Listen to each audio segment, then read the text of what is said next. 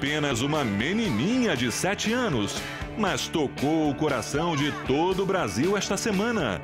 O Fantástico está no ar e apresenta Mel, que também atende por Rita.